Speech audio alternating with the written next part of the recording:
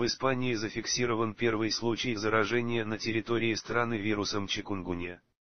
Эта болезнь передается через укус некоторых видов комаров и более характерна для Африки и Азии. Случай заражения подтвердили в Европейском центре предупреждения и контроля за заболеваниями, ECDC. Заболевший, 60-летний мужчина, живущий в Гандии, провинция Валенсия. В течение трех последних месяцев он не покидал Европу.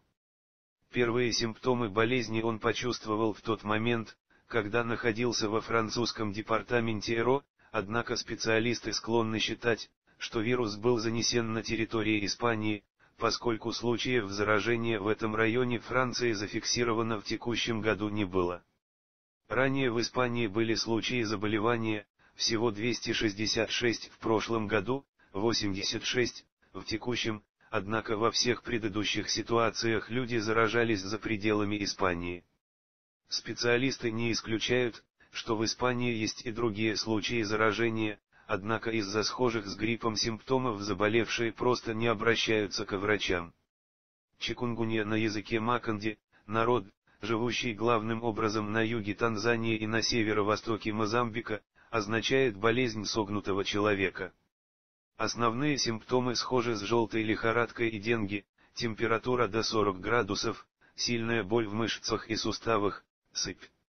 Болезнь не считается смертельной, за исключением особо ослабленного организма, в частности, у детей и стариков, однако ее последствия, боли в суставах и головные боли, ощущаются очень продолжительное время, вплоть до двух лет, в некоторых случаях заболевшие страдают хроническим артритом.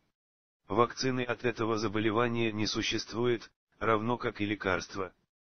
Симптомы продолжаются от 12 до 60 дней.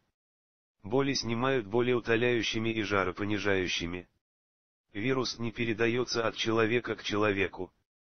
Чаще всего его разнощиками становятся тигровые комары, которые обитают, в том числе в Европе вспышки заболевания ранее в Европе были, 200 случаев в Италии в 2007 году, Два случая во Франции в 2010, еще 12 случаев, также во Франции в 2014 году.